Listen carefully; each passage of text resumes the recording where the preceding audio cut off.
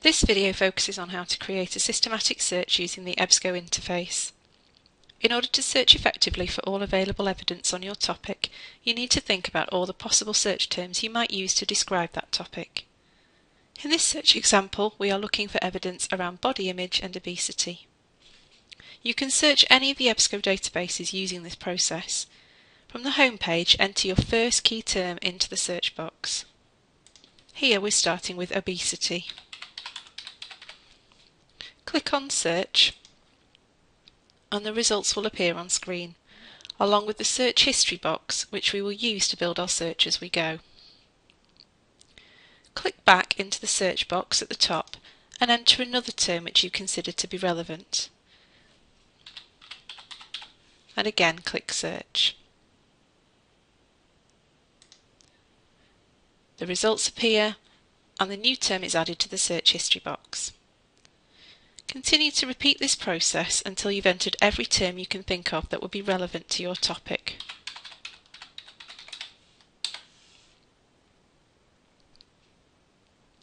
Remember that small changes can make a difference to your results, so consider things like singulars and plurals, hyphenated terms, and any spelling variations, for example American versus English spellings.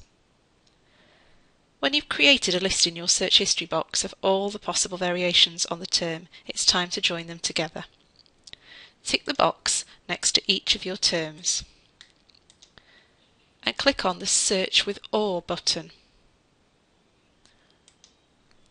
OR is known as a Boolean operator and is used in searching to join terms together. You use OR to join together words that mean the same thing, so you will get a big broad result of possible options. On screen you'll see a new entry in your search history box which includes search 1, search 2, search 3.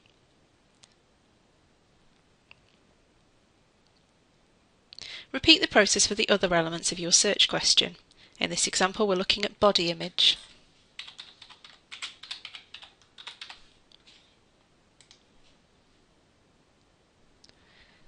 Variations could include self-image,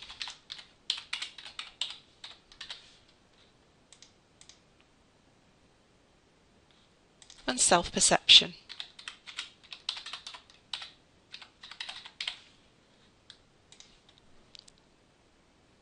Again, each term is entered individually. When you're ready to group them together, tick them to select and click on the Search with OR button. You now have two big groups of search terms on your two topic areas. The final step is to connect these two together. This time tick the two boxes next to the OR groups and then click the Search with AND button. This will look for articles which mention something from the first group as AND something from the second group. Using the AND operator makes your results smaller, more focused and more accurate. By searching for each term at a time and then combining them together, you achieve several things. Firstly, searching for terms one at a time allows you to see the individual results for each word.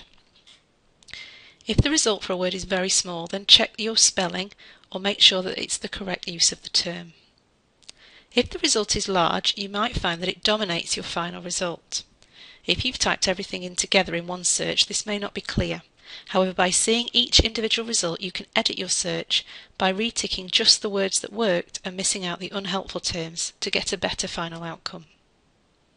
For many assignments within health and social care, you need to demonstrate that you have searched correctly by including a copy of your search history in your assignment.